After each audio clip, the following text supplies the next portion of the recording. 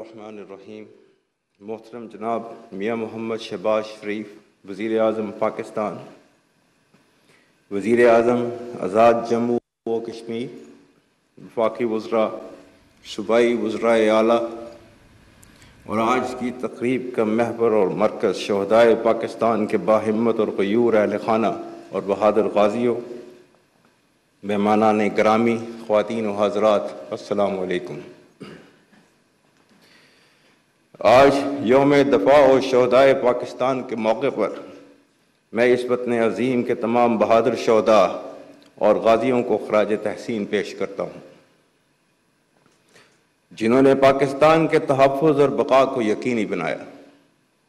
میں اللہ کی بابرکت ذات سے جد و جہد قیام پاکستان سے لے کر آج تک تمام تر شہداء کے درجات کی بلندی کے لیے دعا گو ہوں۔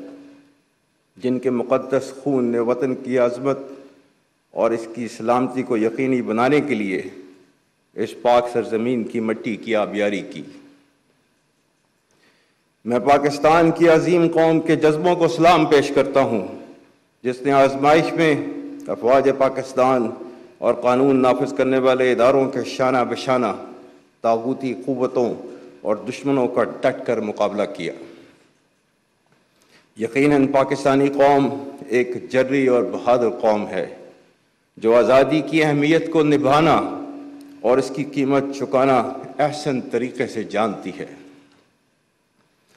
انیس سو اڑتالیس، انیس سو پینسٹھ، انیس سو اکہتر، یا کارگل کی پاک بہارت جنگیں ہوں یا سیشن کا محاذ، ہزاروں شہداء، وطن کی سلامتی اور حرمت کی خاطر قربان ہوئے۔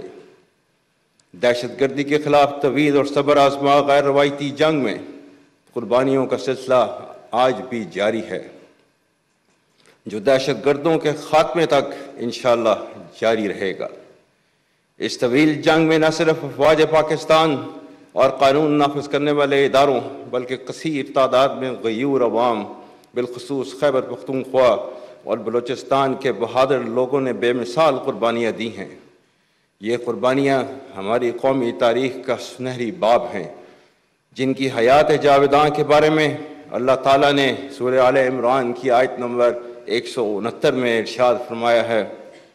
وَلَا تَحْسَبَنَّ الَّذِينَ قُتِلُوا فِي سَبِيلِ اللَّهِ أَمْوَاتًا بَلْ عِنْدَ رَبِّهِمْ يُرْزَقُونَ۔ جس کا ترجمہ ہے، اور جو لوگ اللہ کی راہ میں مارے جائیں، ہرگز انہیں مردہ نہ سمجھو، وہ زندہ ہیں۔ اپنے رب کے پاس رزق پاتے ہیں۔ معزز حاضرین، گزشتہ بیس سال سے زائد عرصے میں فتنہ الخوارج اور دوسرے دہشت گردوں کے خلاف لاتعداد قربانیوں کا ثمر پاکستان کی سالمیت اور بتدریج استحکام کی صورت میں ظاہر ہے۔ ماضی میں جن اقدامات کا تصور بھی مشکل تھا، وہ آج حقیقت کے طور پر ہمارے سامنے ہیں۔ فتنہ کے خلاف متحد آواز، پیغام پاکستان مغربی سرحدوں کا باضابطہ انتظام، قبائلی علاقہ جات کی صوبہ میں شمولیت، خیبر پختونخوا اور بلوچستان میں معاشی اور سماجی ترقی کے اقدامات وہ اہم کامیابیاں ہیں جو ریاست پاکستان کے عزم اور شہداء اور غازیوں کی قربانی کا ثمر ہیں۔ خواتین و حضرات، افواج پاکستان اور عوام کا رشتہ دل کا رشتہ ہے۔ بیرونی جاہریت کے خلاف مارکا ہو یا دہشت گردی کے خلاف جنگ، قدرتی آفات میں امداد ہو یا قومی ترقیاتی منصوبوں میں کردار، پاکستانی قوم نے ہمیشہ فوج پاکستان کو بھرپور تقویت دی ہے۔ یہی مضبوط رشتہ پاکستان کے دشمنوں کی شکست کا ضامن ہے۔ جو قوتیں ملکی سلامتی کے لیے کیے جانے والے اقدامات پر ابہام اور افواج اور افوا اور عوام میں خلیج پیدا کرنے کے لیے متحرک ہیں۔ انہیں ہمیشہ کی طرح شکست کا سامنا کرنا پڑے گا۔ ہمارا عزم استحکام نیشنل ایکشن پلان کی کڑی ہے، جس میں دہشت گردی اور انتہا پسندی کے خلاف قومی و ریاستی حکمت عملی مربوط طور پر مرتب کی گئی ہے۔ عزم استحکام کسی ایسے بڑے اور نئے آپریشن کا نام نہیں، جس میں کسی علاقے کے عوام کو بے دخل کیا جائے گا۔ استحکام کا عزم ملکی سالمیت کے لیے ناگزیر ہے۔ قوم میں انتشار بے یقینی اور مایوسی پھیلانے والے تمام عوامل کو ہم اپنی ذہنی ہم آہنگی کے ساتھ ساتھ متحد ہو کر شکست دیں گے۔ قومی یکجہتی کو کمزور کرنے کے مضموم مقاصد کبھی کامیاب نہیں ہوں گے، انشاءاللہ۔ دہشت گردوں کی حالیہ سرگرمیاں ان مایوس عناصر کی جانب سے پاکستان کو ایک کمزور ریاست بنانے کی ناکام کوشش ہے۔ جنہیں ماضی میں بھی قوم اور فوج کے باہمی اتحاد نے شکست دی، غیر ملکی شہ پر فساد فی الارض برپا کرنے والوں، ان کی معاونت اور ان جرائم کا جواز اور دفاع پیش کرنے والوں پر آئندہ بھی زمین تنگ رہے گی۔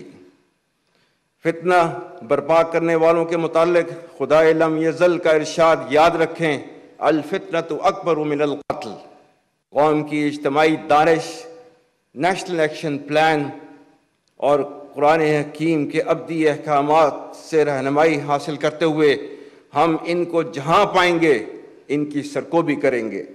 جب تک اس فتنے کا اختتام نہ ہو جائے۔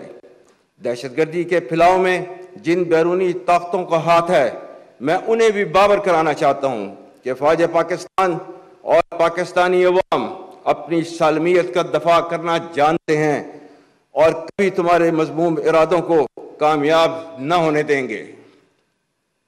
معزز حاضرین شہداء سے وفا کا تقاضا ہے کہ ہم آہینی عزم اور امید کے ساتھ اپنے روشن مستقبل کی طرف سفر جاری رکھیں اور اس سفر میں دین اسلام کی ابدی تعلیمات اپنی درخشندہ روایات اور اخلاقی اقدار کو محوظ خاطر رکھیں۔ پاکستانی قوم، افواج پاکستان کے شانہ بشانہ سینہ سفر ہے اور آنے والے وقتوں تک اس کی سالمیت کا دفاع کرتی رہے گی۔ پاکستان کے روشن مستقبل پر کامل یقین پاکستانیت کا ناگزیر حصہ ہے۔ اقوام عالم میں پاکستانیت ہی وہ تصور ہے جو کسی بھی تفریق سے بالاتر ہمیں ایک باوقار قوم کا درجہ دیتا ہے۔ یہی ہماری شناخت ہے جو اس خوبصورت گلدستے کو، جس پہ مختلف رنگ و نسل، عقائد، زبان اور علاقائی روایات کے لوگ موجود ہیں کو آپس میں پروئے ہوئے ہے اجتماعی سطح پر یہ لازم ہے کہ ہم اتحاد اور یہ گانگت کی صفات کو اپنائیں۔ معاشرتی و سماجی معاملات میں اخوت ہم آہنگی، برداشت اور برد باری کا مظاہرہ کریں۔ قومی یکجہتی کے لیے لازم ہے کہ ہم مذہبی عدم برداشت سے بالاتر رہ کر آئین پاکستان کے مطابق اقلیتوں کے حقوق کا مکمل تحفظ کریں اور سیاسی نقطۂ نظر میں اختلاف کو نفرتوں میں نہ ڈھلنے دیں۔